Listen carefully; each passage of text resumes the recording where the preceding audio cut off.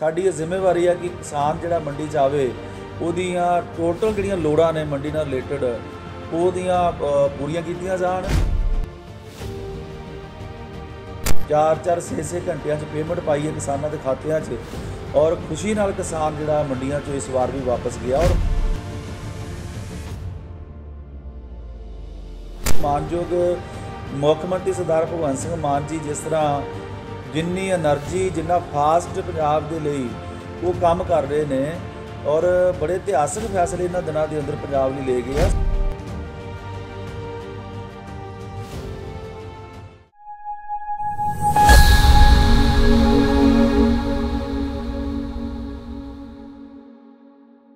ਕਾਫੀ ਸਮੇਂ ਤੋਂ ਲਿਫਟਿੰਗ ਨਹੀਂ ਹੋ ਰਹੀ ਜੀ। ਕਾਫੀ ਲੋਕਾਂ ਨੂੰ ਇਤਨਾ ਮਜ਼ਦੂਰਾਂ ਨੂੰ ਵੀ ਦਿੱਕਤ ਆ ਰਹੀ ਆ ਔਰ ਆੜਤੀਆਂ ਨੂੰ ਵੀ ਆ ਰਹੀ ਆ। ਦੇਖੋ, ਮੈਂ ਚੇਚਾ ਅੱਜ ਜੰਡਿਆਲਾ ਗੁਰੂ ਮੰਡੀ ਚ ਆਇਆ। ਮੇਰੇ ਬਹੁਤ ਹੀ ਪਿਆਰੇ ਜ਼ੀਜ਼ ਔਰ ਮੇਰੇ ਸਤਿਕਾਰਯੋਗ ਮੰਤਰੀ ਜੀ ਹਰਭਜਨ ਸਿੰਘ ਈਡੀਓ ਸਾਹਿਬ ਨੇ ਹੁਕਮ ਕੀਤਾ ਸੀਗਾ ਵੀ ਇੱਥੇ ਲਿਫਟਿੰਗ ਦੀ ਪ੍ਰੋਬਲਮ ਹੈ ਤੇ ਮੈਂ ਚੇਚਾ ਚੇਚਾ ਅੱਜ ਇਸ ਨਗਰੀ ਚ ਆਇਆ। ਸੋ ਲਿਫਟਿੰਗ ਕਿਉਂਕਿ ਥਰੂ ਆਊਟ ਪੰਜਾਬ ਜਿਹੜਾ ਸਾਡਾ ਵੀਟ ਦਾ ਪ੍ਰੋਕਿਉਰਮੈਂਟ ਦਾ ਸੀਜ਼ਨ ਹੈ, ਉਹ ਬੜਾ ਸਮੂਥਲੀ ਚੱਲਿਆ ਪੰਜਾਬ ਦੇ ਅੰਦਰ। ਪੰਜਾਬ ਦੇ ਕਿਸਾਨ ਦੀਆਂ ਦੋ ਮੁੱਖ ਲੋੜਾਂ ਹੁੰਦੀਆਂ ਨੇ ਮੰਡੀ ਦੇ ਨਾਲ ਰਿਲੇਟਡ ਪਹਿਲੀ ਤਾਂ ਉਹਦੀ ਚਿੰਤਾ ਹੁੰਦੀ ਹੈ ਵੀ ਮੇਰਾ ਅਨਾਜ ਮੰਡੀ 'ਚ ਚੱਕਿਆ ਜਾਵੇ ਟਾਈਮ ਸਿਰ।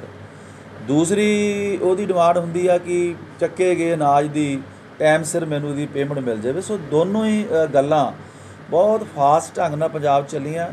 4-4 6-6 ਘੰਟਿਆਂ 'ਚ ਪੇਮੈਂਟ ਪਾਈ ਹੈ ਕਿਸਾਨਾਂ ਦੇ ਖਾਤਿਆਂ 'ਚ।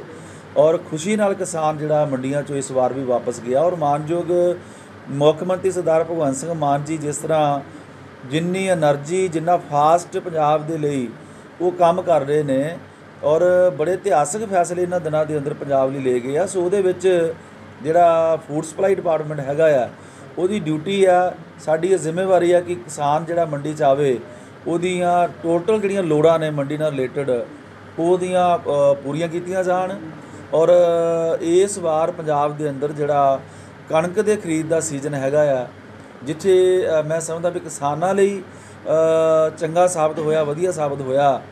ਉੱਥੇ ਨਾਲ ਦੀ ਨਾਲ ਜਿਹੜਾ ਕੇਂਦਰੀ ਭੰਡਾਰ ਦੇ ਅੰਦਰ ਵੀ ਪੰਜਾਬ ਨੇ ਬਹੁਤ ਵੱਡਾ ਰਕਾ ਹਿੱਸਾ ਪਾਇਆ। ਮੈਂ ਵਧਾਈ ਦੇਣਾ ਚਾਹੁੰਦਾ ਪੰਜਾਬ ਦੇ ਕਿਸਾਨਾਂ ਨੂੰ, ਡਿਪਾਰਟਮੈਂਟ ਨੂੰ ਵੀ। ਸੋ ਲਿਫਟਿੰਗ ਦੀ ਕਿਉਂਕਿ ਪਿਛਲੇ ਦਿਨਾਂ ਦੇ ਦੌਰਾਨ ਬੇਮੌਸਮੀ ਬਰਸਾਤ ਕਰਕੇ ਸਾਨੂੰ ਕੁਝ ਦਿੱਕਤ ਆਈ ਸੀਗੀ। ਬਰਸਾਤ ਕਰਕੇ ਥੋੜਾ ਬਹੁਤਾ ਜਿਹੜੀ ਕਣਕ ਉਹਨੂੰ 2-4 ਦਿਨ ਵਿੱਚ ਬ੍ਰੇਕ ਲੱਗੀ ਫਿਰ ਜਗਦਾ ਮੰਡੀ ਚ ਆ ਗਈ। ਸੋ ਉਹ ਤਾਂ ਚੱਕੀ ਆਪਣਾ ਖਰੀਦੀ ਗਈ ਉਹਦਾ ਸਾਰਾ ਕੁਝ ਪੈਸਾ ਚਲਾ ਗਿਆ ਕਿਸਾਨਾਂ ਨੂੰ। ਲਿਫਟਿੰਗ ਦੀ ਮੈਨੂੰ ਪਤਾ ਲੱਗਿਆ ਸੀਗਾ ਇੱਥੇ ਪ੍ਰੋਬਲਮ ਹੈ ਮੈਂ ਚੇਚਾ ਅੱਜ ਇਸ ਮੰਡੀ ਚ ਆਇਆ ਔਰ ਅ, ਤਮਾਮ ਅਧਿਕਾਰੀ ਸਵਾਨ ਇੱਥੇ ਹੈਗੇ ਨੇ ਸਾਡੇ ਡੀਐਫਐਸਸੀ ਸਾਡੇ ਏਜੰਸੀਆਂ ਦੇ ਜਿਹੜੇ ਇੰਚਾਰਜ ਨੇ ਉਹ ਵੀ ਇੱਥੇ ਆਏ ਆ। ਸੋ ਇਹਨਾਂ ਨੂੰ ਕਿਹਾ ਗਿਆ ਕਿ ਵੀ 4-5 ਦਿਨ ਦੇ ਅੰਦਰ ਅੰਦਰ ਇਹਨੂੰ ਜਿਹੜੀ ਲਿਫਟਿੰਗ ਟੋਟਲ ਵੈਸੇ ਤਾਂ 50% ਇਹਨਾਂ ਨੇ ਕਰ ਲਈ ਹੈ।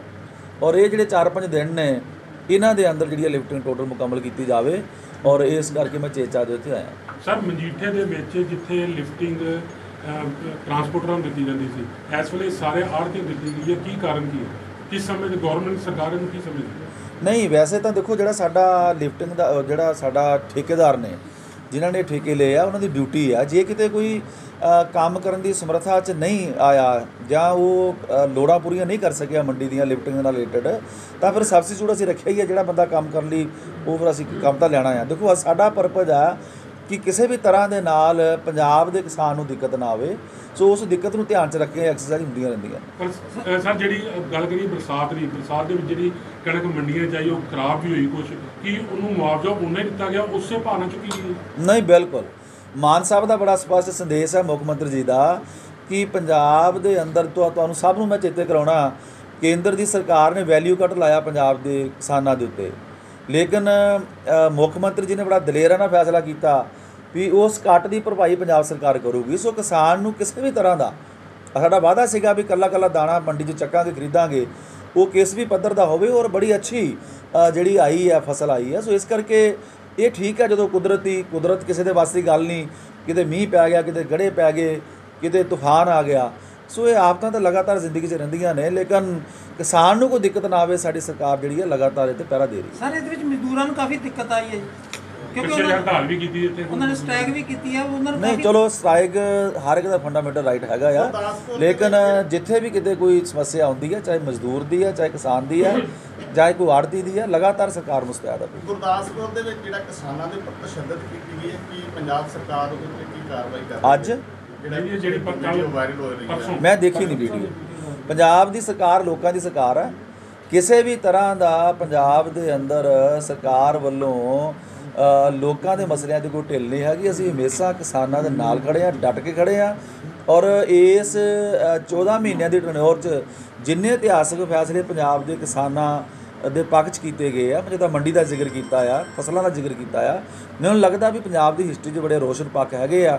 ਸੋ ਲਗਾਤਾਰ ਪੰਜਾਬ ਦੀ ਸਰਕਾਰ ਲੋਕਾਂ ਦੇ ਨਾਲ ਹੈ। ਬਾਅਦ ਆ ਮਤਲਬ ਕਿ ਲਿਫਟਿੰਗ ਹੋ ਰਹੀ ਕੀ ਕਾਰਨ ਕੀ ਲੇਟ ਕੀ ਗੱਲ ਹੋਈ? ਆ, ਦੋ ਕੁ ਦਿਨ ਪਹਿਲਾਂ ਮੇਰੇ ਕੋਲੇ ਪ੍ਰਧਾਨ ਜੀ ਇਸ ਮੰਡੀ ਦੇ ਸਰਦਾਰ ਸੁਰਜੀਤ ਸਿੰਘ ਜੀ ਕੰਗ ਸਾਹਿਬ ਆਏ ਸੀਗੇ ਤੇ ਉਹਨਾਂ ਨੇ ਮੈਨੂੰ ਆ ਕੇ ਦੱਸਿਆ ਕਿ ਲਿਫਟਿੰਗ ਦੀ ਜਿਹੜੀ ਆ ਉਹ ਪ੍ਰੋਬਲਮ ਆ, ਲਗਭਗ 50% ਲਿਫਟਿੰਗ ਹੋਈ ਆ ਤੇ ਮੰਡੀ ਦੇ ਵਿੱਚ ਕਾਫੀ ਮੁਸ਼ਕਲ ਆ ਤੇ ਮੇਰੇ ਨਾਲ ਹੀ ਆਪਣੇ ਮਾਨਯੋਗ ਮੰਤਰੀ ਸਾਹਿਬ ਸ਼੍ਰੀ ਲਾਲਚੰਦ ਜੀ ਕਟਾਰੂ ਚੱਕ ਜੀ ਨਾਲ ਫੋਨ ਤੇ ਰਾਬਤਾ ਕਾਇਮ ਕੀਤਾ, ਇਹਨਾਂ ਦੇ ਧਿਆਨ ਦੇ ਵਿੱਚ ਲਿਆਂਦਾ। ਸੋ ਮੈਂ ਇਹਨਾਂ ਦਾ ਧੰਨਵਾਦੀ ਆ ਕਿ ਇਹਨਾਂ ਨੇ ਉਸੇ ਵੇਲੇ ਹੀ ਮੈਨੂੰ ਕਿਹਾ ਕਿ ਮੈਂ ਖੁਦ ਜਾ ਕੇ ਜੰਡਿਆਲਾ ਗੁਰੂ ਮੰਡੀ ਤੇ ਮਹਿਤਾ ਮੰਡੀ, ਜਿਹੜੀ ਕਿ ਜੰਡਿਆਲੇ ਹਲਕੇ ਦੇ ਵਿੱਚ ਪੈਂਦੀਆਂ ਨੇ। ਮੈਂ ਖੁਦ ਉਹਨਾਂ ਦਾ ਮਤਲਬ ਇਨਸਪੈਕਸ਼ਨ ਕਰੂੰਗਾ, ਦੇਖੂੰਗਾ ਔਰ ਜਿੱਥੇ ਵੀ ਕੋਈ ਮੁਸ਼ਕਲ ਆਈ, ਉਹਨੂੰ ਆਪਾਂ ਹੱਲ ਕਰਾਂਗੇ। ਸੋ ਅੱਜ ਇਹ ਆਏ ਨੇ, ਇਹਨਾਂ ਦਾ ਬਹੁਤ ਧੰਨਵਾਦ। ਸਾਰੇ ਅਧਿਕਾਰੀ ਸਾਹਿਬਾਨ ਸਾਡੇ ਮੌਜੂਦ ਨੇ ਔਰ ਅਧਿਕਾਰੀਆਂ ਨੇ ਭਰੋਸਾ ਦਵਾਇਆ ਕਿ ਆਉਣ ਵਾਲੇ 4-5 ਦਿਨ ਦੇ ਵਿੱਚ ਸਾਰੀ ਲਿਫਟਿੰਗ ਜਿਹੜੀ ਆ ਇੱਥੋਂ ਕਰ ਲਈ ਜਾਊਗੀ। ਸਰ, ਹਮੇਸ਼ਾ ਲਿਫਟਿੰਗ ਦਾ ਹੀ ਰੌਲਾ ਹਮੇਸ਼ਾ ਰਹਿੰਦਾ। ਪਿਛਲੀਆਂ ਸਰਕਾਰਾਂ ਵਿੱਚ ਉਦੋਂ ਵੀ ਲਿਫਟਿੰਗ ਦਾ ਰੌਲਾ ਰਹਿੰਦਾ। ਤੇ ਇਸ ਵਾਰੀ ਵੀ ਲਿਫਟਿੰਗ ਦਾ ਹੀ ਰੌਲਾ ਹੈ। ਨਹੀਂ, ਗਾਂਹ- ਦੇਖੋ- ਗਾਂਹ ਜਿਹੜੀ ਝੋਨੇ ਦੀ ਕ- ਦੇਖੋ ਕਣਕ ਦੀ ਤੁਸੀਂ ਪੁਰਾਣੀਆਂ ਸਰਕਾਰਾਂ ਨਾਲ ਕੰਪੇਅਰ ਨਾ ਕਰੋ। ਜੇ ਲਿਫਟਿੰਗ ਦਾ ਅ, ਰੌਲਾ ਹੁੰਦਾ ਸੀ ਤੇ ਮੈਂ ਨਹੀਂ ਸਮਝਦਾ ਕਿ ਅ, ਮਤਲਬ ਅ, ਸਿਵਲ ਸਪਲਾਈ ਫੂਡ ਸਪਲਾਈ ਜਾਂ ਸਾਡੇ ਮਿਨਿਸਟਰ ਸਾਹਿਬ ਆ ਕੇ ਬੈਠ ਜਾਂਦੇ ਸੀਗੇ ਜਾਂ ਕੋਈ ਉਹਨੂੰ ਮੌਕੇ ਤੇ ਆ ਕੇ ਹੱਲ ਕਰਦੇ ਸੀਗੇ। ਕਿਸਾਨ ਉਸ ਤਰ੍ਹਾਂ ਹੀ ਫਸਲ ਵੀ ਰੁਲਦੀ ਸੀਗੀ ਪੈਸੇ ਵੀ ਟਾਈਮ ਸਿਰ ਨਹੀਂ ਸੀਗੇ ਮਿਲਦੇ। ਇਹ ਤਾਂ ਪਹਿਲੀ ਵਾਰੀ ਅ, ਹੋਇਆ ਕਿ ਜਿਵੇਂ ਮੰਤਰੀ ਸਾਹਿਬ ਨੇ ਦੱਸਿਆ ਕਿ ਜਦੋਂ ਵੀ ਅ, ਜਿਹੜੀ ਕਣਕ ਆ ਉਹ ਮੰਡੀ ਦੇ ਵਿੱਚ ਆਈ ਆ ਉਹਨੂੰ ਉਸੇ ਵੇਲੇ ਹੀ ਉਹਦੀ ਉਹਨੂੰ ਖਰੀਦਿਆ ਗਿਆ। ਖਰੀਦਣ ਤੋਂ ਬਾਅਦ ਪੇਮੈਂਟ ਵੀ ਜਿਹੜੀ ਆ ਬੜੇ ਟਾਈਮ ਸਿਰ ਕੀਤੀ ਗਈ ਆ। ਪੰਜਾਬ ਦੇ ਵਿੱਚ ਸਾਨੂੰ ਕੁਝ ਵੀ ਨਹੀਂ ਥੋੜਾ ਇੱਕਾ ਦੁੱਕਾ ਥਾਵਾਂ ਤੇ ਛੋਟੀ ਮੋਟੀ ਪ੍ਰੋਬਲਮ ਆਈ ਆ। ਸੋ ਉਹ ਵੀ ਅਸੀਂ ਪੂਰੀ ਤਰ੍ਹਾਂ ਅ, ਸੁਹਿਰਦਾਂ ਅਸੀਂ ਕਿਸਾਨਾਂ ਦਾ ਕੱਲਾ ਕੱਲਾ ਦਾਣਾ ਜਿਹੜਾ ਆ ਉਹ ਚੁੱਕਿਆ ਹੈ ਕੱਲੀ ਕੱਲੀ ਪੇਮੈਂਟ ਕੀਤੀ ਆ। ਆਉਣ ਵਾਲੇ ਝੋਨੇ ਦੇ ਸੀਜ਼ਨ ਦੌਰਾਨ ਵੀ ਅਸੀਂ ਪੂਰੀ ਤਰ੍ਹਾਂ ਜਿਹੜੀ ਬਿਜਲੀ ਸਪਲਾਈ ਦੇਣ ਵਾਸਤੇ ਵੀ ਪੂਰੀ ਤਰ੍ਹਾਂ ਸਾਡੀ ਤਿਆਰੀ ਆ। ਕਿਸੇ ਤਰ੍ਹਾਂ ਦਾ ਵੀ ਜਿਵੇਂ ਪਿਛਲੀ ਵਾਰੀ ਵੀ ਕੋਈ ਬਿਜਲੀ ਦਾ ਕੱਟ ਨਹੀਂ ਸੀਗਾ ਲੱਗਾ, ਇਸ ਵੇਲੇ ਵੀ ਸਾਡੇ ਕੋਲ ਪੂਰੀ ਤਿਆਰੀ ਆ। ਇਸ ਵੇਲੇ ਜੇ ਕੋਲੇ ਦੀ ਗੱਲ ਕਰੀਏ, ਸਾਡੇ ਕੋਲ 43 ਦਿਨ ਦਾ ਕੋਲਾ ਜਿਹੜਾ ਇਸ ਵੇਲੇ ਸਟਾਕ ਦੇ ਵਿੱਚ ਪਿਆ ਕਿਸਾਨਾਂ ਨੂੰ ਬਿਜਲੀ ਦੇਣ ਵਾਸਤੇ ਆਉਣ ਵਾਲੇ ਸਮੇਂ ਦੇ ਵਿੱਚ। ਜਦ ਕਿ ਪਹਿਲੇ ਸਮਿਆਂ ਦੇ ਵਿੱਚ ਅਸੀਂ ਖਬਰਾਂ ਸੁਣਦੇ ਹੁੰਦੇ ਸੀ ਕਿ ਕਿ 2 ਦਿਨ ਦਾ ਕੋਲਾ ਰਹਿ ਗਿਆ 1 ਦਿਨ ਦਾ ਕੋਲਾ ਰਹਿ ਗਿਆ। ਸੋ ਕਿਸੇ ਵੀ ਤਰ੍ਹਾਂ ਦੀ ਕਿਸੇ ਕਿਸਾਨ ਭਰਾ ਨੂੰ ਕਿਸੇ ਮਜ਼ਦੂਰ ਵੀਰ ਨੂੰ ਪੱਲੇਦਾਰਾਂ ਨੂੰ ਕਿਸੇ ਤਰ੍ਹਾਂ ਦੀ ਕੋਈ ਮੁਸ਼ਕਲ ਜਿਹੜੀ ਆ ਨਹੀਂ ਆ। ਕੱਲ ਧਰਨਾ ਵੀ ਲਾਉਣਾ ਪਿਆ ਕਿਸਾਨਾਂ ਨੂੰ ਜਿਹੜਾ ਤੁਸੀਂ ਇੱਥੇ ਸਾਡੇ ਲੱਗਾ ਸੀਗਾ। ਤੇ ਕੀ ਕਹੋਗੇ ਵੀ ਇਹੋ ਜੀ ਨੌਬਤ ਕਿਉਂ ਆ ਜਾਂਦੀ ਹੈ? ਦੇਖੋ ਧਰਨਾ ਤੇ ਜਿਹੜਾ ਆ ਉਹ ਕੋਈ ਵੀ ਲਗਾ ਸਕਦਾ ਹੈ ਸੰਵਿਧਾਨਕ ਹੱਕ ਆ। ਇਹ ਲੋਕਤੰਤਰ ਆ? ਇਹ ਲੇਕ- ਲੋਕਤੰਤਰ ਆ। ਠੀਕ ਆ ਇਹਦੇ ਵਿੱਚ ਕੋਈ ਜਾਂ ਤੇ ਸਮੱਸਿਆ ਦਾ ਹੱਲ ਨਾ ਹੁੰਦਾ ਹੋਵੇ ਫਿਰ ਤੇ ਆਪਾਂ ਉਹਨੂੰ ਐਕਸੈਪਟ ਕਰੀਏ। ਜਦੋਂ ਤੁਹਾਡੇ ਮੰਡੀ ਦੇ ਪ੍ਰਧਾਨ ਕੰਗ ਸਾਹਿਬ ਮੇਰੇ ਕੋਲ ਆਏ ਨੇ ਤੇ ਕਿੰਨੇ ਸਮੇਂ ਦੇ ਵਿੱਚ ਮੰਤਰੀ ਸਾਹਿਬ ਇੱਥੇ ਪਹੁੰਚ ਗਏ ਨੇ ਇਹ ਤੁਹਾਨੂੰ ਬਿਹਤਰ ਦੱਸਣਗੇ।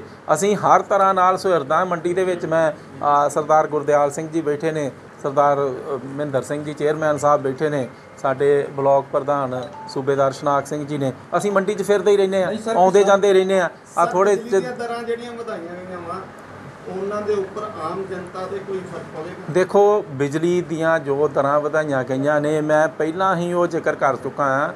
ਵੱਖ-ਵੱਖ ਚੈਨਲਾਂ ਦੇ ਉੱਤੇ ਵੀ, ਪ੍ਰਿੰਟ ਮੀਡੀਆ ਦੇ ਵਿੱਚ ਵੀ, ਕਿ ਜਿਹੜੀ ਅਸੀਂ ਬਿਜਲੀ ਫ੍ਰੀ ਦੇ ਰਹੇ ਹਾਂ ਕਿਸਾਨਾਂ ਨੂੰ, ਜਿਹੜੀ ਬਿਜਲੀ ਫ੍ਰੀ ਦੇ ਰਹੇ ਹਾਂ 600 ਯੂਨਿਟ, ਡੋਮੈਸਟਿਕ ਘਰੇਲੂ, ਉਹਦੇ ਉੱਤੇ ਕਿਸੇ ਨੂੰ ਵੀ ਕੋਈ ਫ਼ਰਕ ਨਹੀਂ ਪਏਗਾ। ਜਿਵੇਂ 90% ਲੋਕਾਂ ਦੇ ਪਹਿਲਾਂ ਬਿਜਲੀ ਦੇ ਬਿੱਲ ਜ਼ੀਰੋ ਆਉਂਦੇ ਸੀਗੇ, ਇਵੇਂ ਹੀ ਜ਼ੀਰੋ ਆਉਣਗੇ। ਜੋ ਦਰਾਂ ਥੋੜੀਆਂ ਬਹੁਤੀਆਂ ਕਾਸਟ ਵਧੀਆ ਉਹ ਵਧਾਈਆਂ ਗਈਆਂ ਨੇ, ਉਹਦੀ ਪੇਮੈਂਟ ਲੋਕਾਂ ਤੇ ਕੰਜ਼ਿਊਮਰ ਤੇ ਖਪਤਕਾਰਾਂ ਤੇ ਨਹੀਂ ਆ।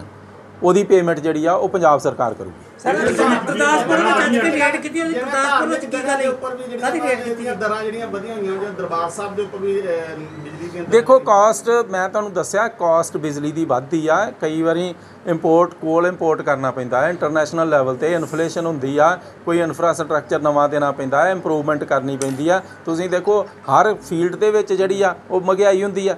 ਸੋ ਅਸੀਂ ਤੇ ਬੜੀਆਂ ਮਾਮੂਲੀ ਜੀਆਂ ਕੀਮਤਾਂ ਵਧਾਈਆਂ ਨੇ ਔਰ ਉਹਦੀ ਵੀ ਜ਼ਿੰਮੇਵਾਰੀ ਪੰਜਾਬ ਸਰਕਾਰ ਨੇ ਆਪਣੇ ਸਿਰ ਚੁੱਕੀ ਤੁਸੀਂ ਕਹਿ ਰਹੇ ਜੀ ਕੋਈ ਫ਼ਰਕ ਨਹੀਂ ਪਏਗਾ। ਤੁਸੀਂ ਕਹਿ ਰਹੇ ਜੀ ਇੱਥੇ ਕੋਈ ਫ਼ਰਕ ਨਹੀਂ ਪਏਗਾ ਦਰਾਂ ਵਧਾਉਣ ਦੇ ਉੱਤੇ।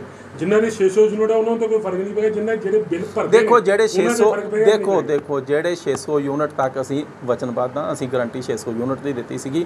ਕੋਈ ਵੀ ਪਰਿਵਾਰ ਜਿਹੜਾ 600 ਯੂਨਿਟ ਤੱਕ ਬਿਜਲੀ ਬਾਲਦਾ ਆ ਉਹਦੇ ਤੇ ਕੋਈ ਫ਼ਰਕ ਨਹੀਂ ਪਏਗਾ। ਔਰ 600 ਯੂਨਿਟ ਇਜ਼ ਸਫੀਸ਼ੀਐਂਟ ਘਰ ਚਲਾਉਣ ਵਾਸਤੇ ਬਹੁਤ ਸਰ ਸਫੀਸ਼ੀਐਂਟ ਜਿਹੜੀਆਂ ਜ਼ਮੀਨਾਂ ਅਕਵਾਇਰ ਦਾ ਮਾਮਲਾ ਚੱਲਦਾ ਪਿਆ ਵਾ ਜਿਹਦੇ ਵਿੱਚ ਦੇਖਿਆ ਕਿ ਥੱਪੜ ਵੀ ਮਾਰਿਆ ਗਿਆ ਪੁਲਿਸ ਵਾਲੇ ਵੱਲੋਂ ਉਹ ਜਿਹੜਾ ਮਸਲਾ ਵਾ ਉਹ ਕਿੱਥੋਂ ਤੱਕ ਸਰ ਮਤਲਬ ਵੀ ਦੇਖੋ ਅਸੀਂ ਉਹਦੀ ਇਨਕੁਆਇਰੀ ਕਰਾ ਰਹੇ ਹਾਂ। ਉਹ ਜਿਹੜੇ ਵੀ ਮੁਲਾਜ਼ਮ ਸੀਗੇ ਉਹਨਾਂ ਨੂੰ ਲਾਈਨ ਹਾਜ਼ਰ ਕਰ ਦਿੱਤਾ ਗਿਆ ਔਰ ਉਹਦੀ ਇਨਕੁਆਇਰੀ ਚੱਲ ਰਹੀ ਹੈ। ਜੋ ਵੀ ਕੋਈ ਜ਼ਿੰਮੇਵਾਰ ਸਰ ਹੋਊਗਾ ਟਾਈਮ ਬਾਉਂਡ ਕੀਤਾ ਗਿਆ 5 ਦਿਨ ਦਾ ਮੰਤਰੀ ਸਾਹਿਬ ਵੱਲੋਂ ਕਿ 5 ਦਿਨ ਦੇ ਵਿੱਚ ਵਿੱਚ ਲਿਫਟਿੰਗ ਪੂਰੀ ਹੋਏਗੀ।